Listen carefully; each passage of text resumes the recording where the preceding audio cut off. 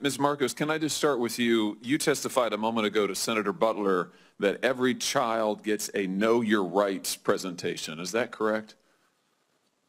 That is correct. Is that before or after you release them to labor traffickers? Senator, every child that comes into our care gets a Know Your Rights presentation as well as... Have you read these New York Times reports, these stories, the, the series of stories the New York Times has done on the children who are in your care? Have you read them? Yes, I have. Have you read that children are scrubbing dishes, they are operating heavy machinery, they are delivering, delivering meals, they are harvesting coffee, they are working construction, they are working as housekeepers, they are working overnight shifts at plants where they are not paid, they are not going to school, they are not cared for, they are not giving meals, almost all of it illegally. Are you aware of that? That's a yes or no. Yes. Do the Know Your Rights presentation help them in those situations?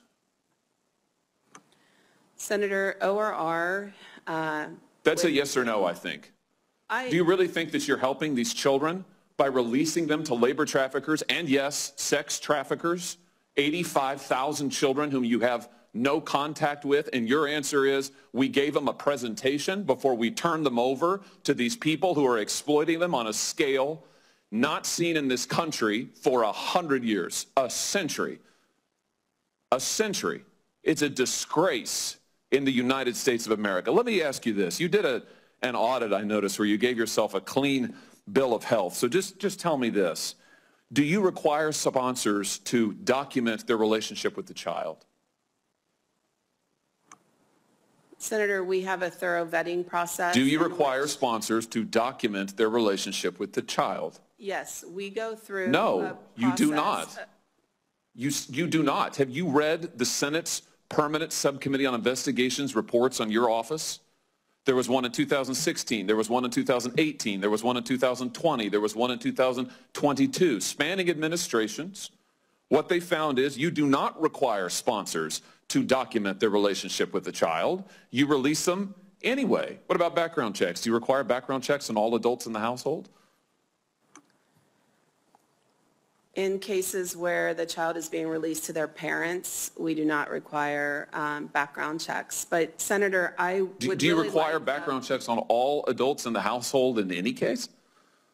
Yes, in some cases we do. How, what percentage of cases do you do background checks on the adults in the household? I, I don't have that number in front of me. Do you do home visits in all cases? You can actually see where these children are, are being released, who you, whose care you're putting them in? We do not do home visits in all cases. Senator, I'd really like the opportunity to talk about what we are doing. to You, I know what you're doing, and it's, it's incredibly and totally inadequate.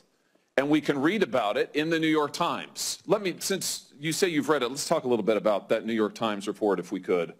Here's a quote from the April 17th installment. Again and again, veteran government staffers and outside contractors told HHS, including reports that reached the secretary, that children appeared to be at risk. Did you warn the secretary that children were at risk?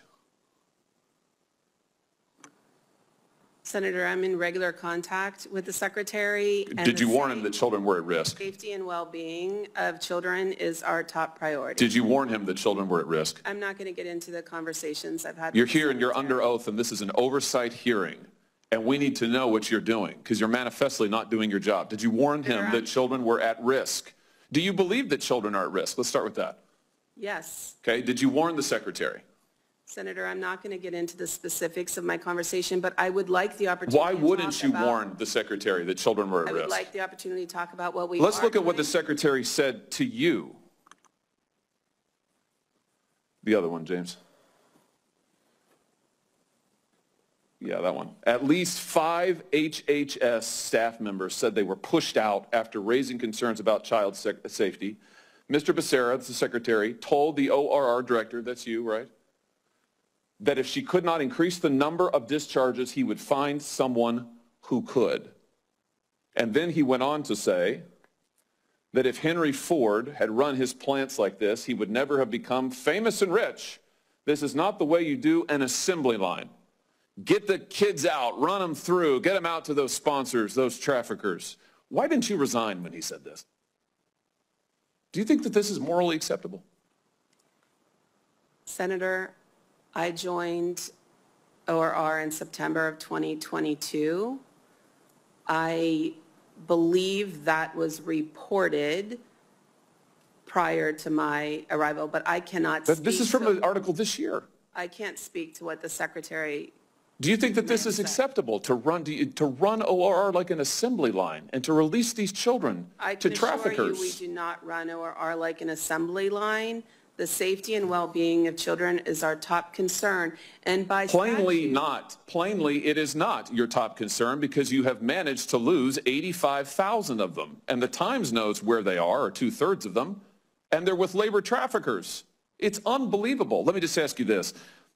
How many kids right now, of the 430,000 approximately unaccompanied children crossed the border under this administration, it's an astounding number. How many are you in regular contact with right now?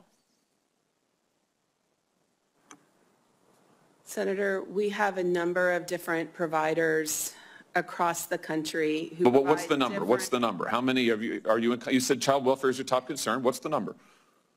I don't have the specific numbers. How can you not know? Why would you come to this hearing and not know?